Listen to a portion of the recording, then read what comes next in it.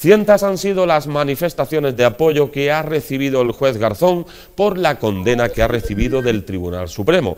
Sin embargo, hay una que sin duda es la más especial porque se trata de la de su hija, que a través de una carta pública en el diario El País ha explicado que muchos etarras estarían brindando por la decisión del Tribunal Supremo. Les leemos esta carta a continuación. Esta carta está dirigida a todos aquellos que hoy brindarán con champán por la inhabilitación de Baltasar Garzón.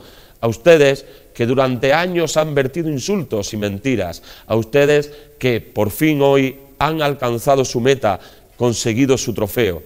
A todos ustedes les diré que jamás nos harán bajar la cabeza, que nunca derramaremos una sola lágrima por su culpa.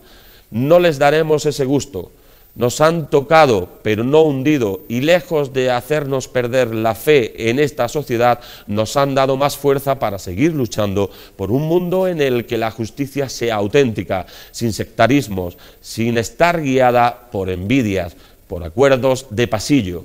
Una justicia que respeta a las víctimas, que aplica la ley sin miedo a las represalias, una justicia de verdad en la que me han enseñado a crecer desde que nací y que deseo que mi hija, que hoy corretea ajena a todo, conozca y aprenda a querer, a pensar de que ahora haya sido mermada.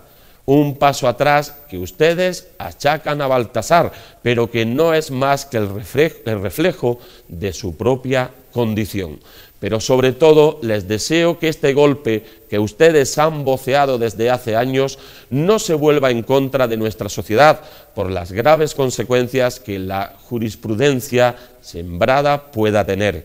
Ustedes hoy brindarán con champán, pero nosotros lo haremos juntos cada noche, porque sabemos que mi padre es inocente y que nuestra conciencia sí está tranquila.